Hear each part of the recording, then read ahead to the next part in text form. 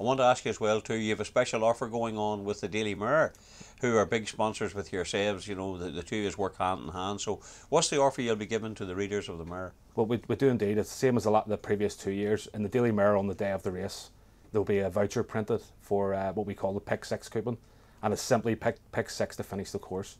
Uh, it's free. It's a free bet to do, and if you correctly predict six horses to finish the course, it will give you ten pound. Uh, this is a, str- a, strange again this year that we have for the first five home last year on. So we have last year's runner Pineau de Re taking its chance again, the runner up Balthazar King, and then the fourth and fifth horses which were uh, sorry I forget. Uh, it was the fourth and fifth horses were Rocky Creek and just go to my notes. Go ahead. Alvarado. Alvarado was the was the fourth horse home. You say a six to finish, you know, uh, on paper it sounds easy.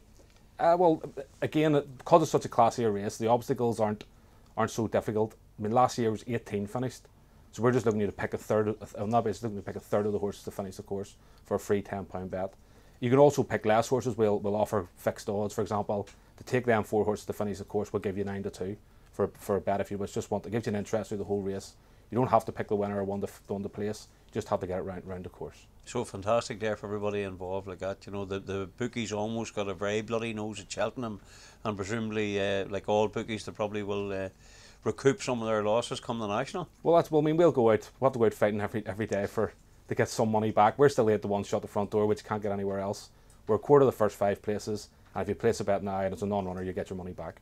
Can't so, say further than that. So what we're saying to the punters here watching it on Maclean's TV, McCoy the fairy tale back at eight to one, you'll not get better odds anywhere. Well, at eight to one now, I mean, as I said, it could be seven to two on the day. You'll not get any better than eight to one.